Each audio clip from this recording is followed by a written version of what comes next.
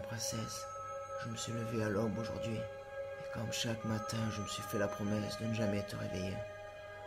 Je t'ai recouverte avec le drap, je t'ai regardé dans les yeux, t'ai embrassé sur la joue, t'apportant tout mon amour, et me suis en allé sans jamais regarder en arrière. Ce matin, il fait froid, les feuilles des arbres autour de moi sont toutes humides, et le soleil a du mal à pénétrer mon corps afin de réchauffer un semblant d'enthousiasme. Aujourd'hui, nous sommes le dimanche 14 novembre 1965 et je m'apprête à partir dans les vallées du Vietnam pour défendre mon pays qui a besoin de chaque homme, de chaque soldat. Je pars avec l'envie, la détermination et l'honneur d'un soldat, mais laisse derrière moi la tristesse d'un mari et la souffrance d'un futur père.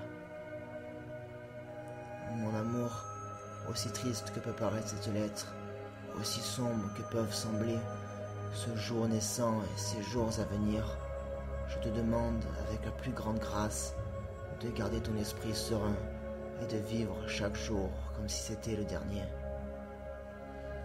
Aujourd'hui, je me suis levé avec la plus grande peur qu'un homme n'ait jamais connue.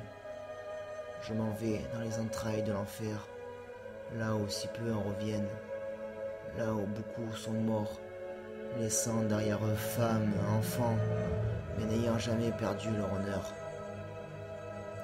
Quand tu te sentiras seul et attristé, et que tu n'auras même plus la force de songer à mon égard, ayant trop peur de souffrir davantage, alors tu devras essayer de prier devant Dieu, prier pour que les larmes du soleil viennent éclairer mon chemin et me portent un peu plus près de ton cœur, espérant que pendant quelques secondes je me sente vaillant et aimé à l'autre bout de la terre. Mon amour, je ne te fais absolument pas la promesse de revenir vivant. Alors quoi qu'il puisse arriver, je vous embrasse avec la plus grande bénédiction que puisse illuminer mon âme, toi et notre enfant. Je vous aime de tout mon cœur. Au revoir, mes très chers. Signé, votre bien-aimé.